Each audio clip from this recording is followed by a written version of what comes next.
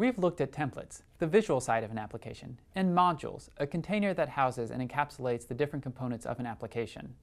Now it's time to add in controllers. This is where we really start to see Angular coming together.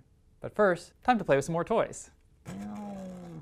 Every LEGO model can be put on display, but not all of them actually do anything.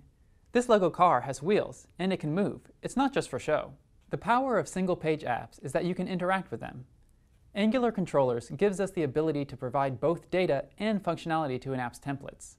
Let's add some data to our apps. We can use Yeoman to generate the files we need. Let's make the controller first. We need the yo angular controller command, and let's create a controller named menu. This creates a menu file in the controllers directory. It also updates the index file to include this new controller. While we're setting up our app, I want this project to start with a clean slate. So let's remove this default main file here. In the controller folder,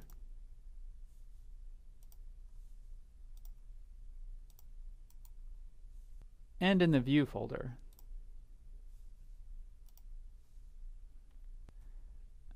Now in our new menu controller, let's delete the function's default content. A controller, just like the other components in Angular, lives inside of a module. The module's already been created, so we get it and add the controller to it. To actually create a controller, we use Angular's controller method. The name of the controller comes first, and then the function. A controller is a constructor function. Properties of the constructed object can be used as variables in templates. Let's add properties for an ID, a name, an image, and a rating. And I'll use these values. We've added properties to the controller, and the controller to the module, so Angular knows about our controller, how to create it, and the data to use when creating it. Let's add this controller to the template. But first, we actually need a template. Let's run yo angular view menu to generate an HTML template with the name menu. The generator creates our template in the views directory. Now that we have our template, we can add it to the page. This line is left over from the main file we deleted. Let's update it to use our menu files. We can swap out main here for menu, and main controller we can replace with menu controller as menu. Just like we use that strange ng app attribute called a directive to add a module to the page, we need to use this directive to include our new template. The directive to load the controller is ng-controller. Then we pass it the name of the controller we want, menu controller, and the variable name to use for instantiation, menu.